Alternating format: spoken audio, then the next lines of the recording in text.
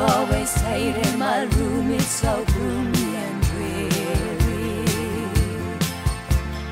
Always too dark, for the windows just face the backyard. So I